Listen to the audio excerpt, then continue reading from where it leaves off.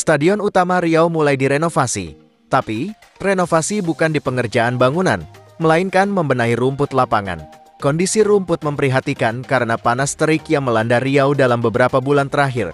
Rumput Stadion Pembukaan PON Riau 2012 ini menguning, bahkan ada yang berwarna coklat karena mengering. Untuk itu, Dinas Kepemudaan dan Olahraga Riau melakukan peremajaan dengan cara tambal sulam. Ya, lapangan Stadion Utama Riau diperbaiki. Rumput yang rusak dilakukan tambal sulam agar kembali tumbuh rata. Cuaca cukup panas membuat rumput di beberapa titik mengering. Ditambah lagi intensitas pemakaian lapangan sempat tinggi karena ramai peminat untuk main di stadion ini. Ujar Kadispora Riau Bobi Rahmat. Didampingi Kepala Bidan Sarana dan Kemitraan Dispora Riau Gendraya Roheni, Kadispora Riau Bobi menjelaskan pekerjaan tambal sulam ini dikerjakan pihak ketiga yang selama ini memang dipercaya mengerjakan pemeliharaan ex venue PON 2012.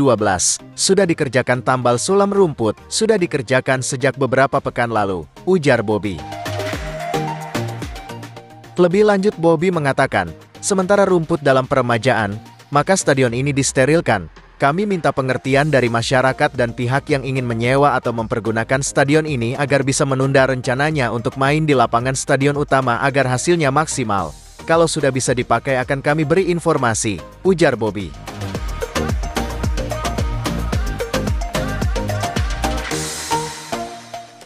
Pengerjaan tambal sulam rumput ini ditargetkan hingga jelang Pekan Olahraga Wilayah Porwil, Sesumatra 2023 yang akan digelar di Riau pada 4 sampai tanggal 14 November tahun 2023.